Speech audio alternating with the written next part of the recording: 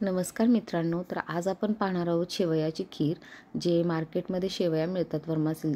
तर त्या शेवयांची खीर आपण पाहणार आहोत. तर त्यासाठी मी पॅनमध्ये अर्धा चमचा तूप घालून घेतलं होतं आणि त्यामध्ये एक वाटी शेवया घातलेल्या आहेत. तर ह्या शेवया आपल्याला खरपूस भाजून घ्यायच्या आहेत. भाजलेल्या शेवयासुद्धा मिळतात पण ह्या जरी घेऊन तुम्ही भाजलं तरी खीर खूप छान होते. तर माझ्या शेवया थोड्या भाजून झाल्या होत्या. मग मी त्यामध्येच बदामाचे कापे घातलेत.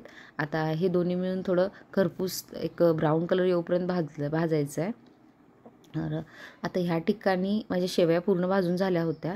मग मी त्यामध्ये गरम दूध घातलेलं आहे. आणि आता ह्याला एक पाच ते सात मिनटं मी चांगली उकळी काढून घेणार आहे. मध्ये मध्ये हलवत हलवत मी शेवया शिजवून घेतलेल्या आहेत. आणि एक सात मिनटानंतर त्याला व्यवस्थित उकळी देखील आली होती. आता ह्या स्टेजला आपण ह्याच्यामध्ये डायरेक्ट तुम्हाला जर साखर असेल तर तुम्ही डायरेक्ट साखर घालू शकता. किंवा अजून जर तुम्हाला खवा घालायचा असेल तर खवा देखील घालू शकता. माझ्याकडे पेढे होते.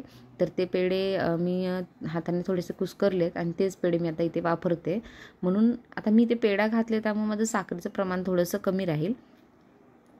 तर पेढा घालून किंवा खवा घालून तुम्ही एक पाच मिनिट त्याला पूर्ण पेढ्याला त्या म्हणजे खवाला पूर्ण वितळवून घ्यायचं आहे आणि त्याच्यानंतर मग लास्टला आपल्याला साखर घालायची आहे साखर घातल्यानंतर खूप वेळ आपल्याला खिरीला गरम करत राहायचं नाही आहे कारण साखर खीर गरम असल्यामुळे पटकन मेल्ट होणार आहे.